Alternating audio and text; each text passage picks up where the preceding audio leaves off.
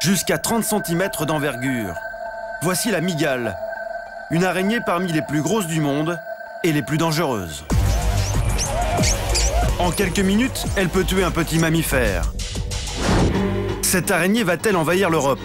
C'est le scénario catastrophe qu'envisagent deux chercheurs suisses dans un article publié en 2007. Ils révèlent que 87 nouvelles espèces d'araignées sont apparues en Europe en un siècle et demi.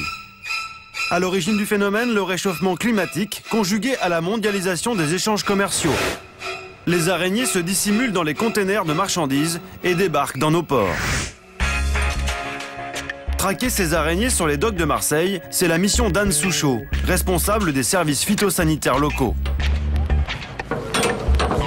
À l'ouverture, on, voit s'il y a des araignées, on voit s'il y a quelque chose. Au premier coup d'œil, ce conteneur de fruits ne semble pas infesté. Mais les inspecteurs vérifient la marchandise, pièce par pièce. Je sais pas, il y a un trou, donc je veux voir ce que c'est.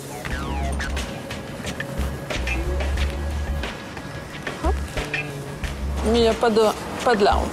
Fausse alerte pour aujourd'hui, mais il leur arrive parfois de faire face aux araignées les plus dangereuses. Un des exemples concrets, on a trouvé des, des veuves noires.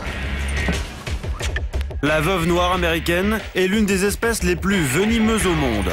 Sur les publications qu'on peut être amené à lire, effectivement, ça peut être euh, mortel pour un jeune enfant.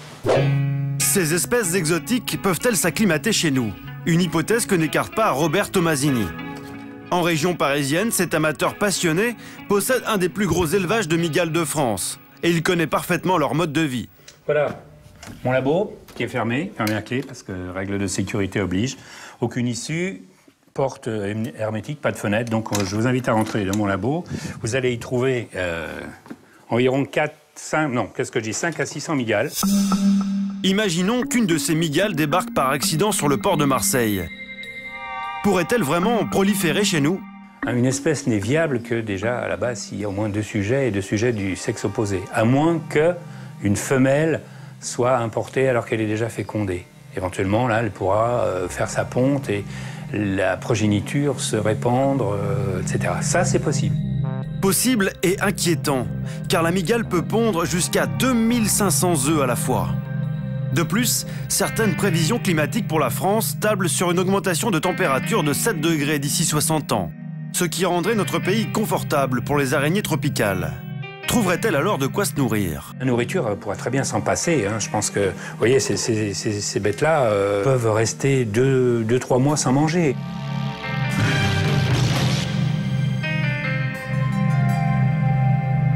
Pour l'instant, on ne recense que des cas isolés d'araignées tropicales retrouvées dans des habitations. Bonjour Comme celui de Constance qui s'en souvient encore. C'était chez elle, à Marseille. J'étais dans la salle de bain, donc une salle de bain à peu près comme ça. Je m'apprête à rentrer dans la baignoire, je vais prendre une douche.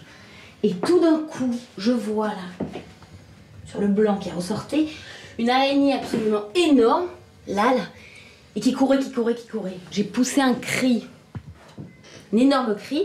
Ma mère est arrivée en courant, je vous avoue qu'elle a eu une peur bleue aussi. Elle a été quand même courageuse et on a dû finalement l'aspirer pour s'en débarrasser. C'était terrible.